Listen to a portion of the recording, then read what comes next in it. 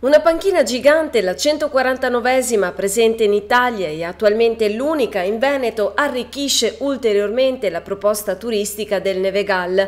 Questa l'innovativa progettualità portata sul territorio bellunese dalla Proloco Pieve Castionese con la collaborazione di Unifarco. Il progetto eh, si chiama Big Bench Community Project, realizzato da Chris Bengel, che è un, un designer statunitense che vive in Italia, clavesana, insieme alla moglie ha realizzato questo questo progetto, che è un progetto no profit che tende a valorizzare i territori e soprattutto le eccellenze artigianali locali. Noi le abbiamo portate in Nevegal proprio perché ci piaceva partire da lì per poi magari costituire insieme alle altre proloco, insieme agli altri comuni, insieme agli altri luoghi delle altre, delle altre panchine come hanno fatto in altri luoghi d'Italia dove si sono creati proprio dei circuiti di panchine affinché la gente venga in montagna, possa conoscere il territorio. Un'installazione di colore rosso rosso di 3,50 m per 2,20 m di altezza, posizionata a Casera Erte, capace non solo di attirare la curiosità di grandi e piccini, ma anche dare nuovo slancio al turismo, valorizzando le eccellenze del territorio. Un apposito passaporto legato a questo progetto racchiude i timbri associati ad ogni installazione, consentendo ai fruitori di tenere traccia della memorabile esperienza. Essendoci proprio un turismo legato alle panchine, vi è anche la possibilità di collezionare questi, questi timbri.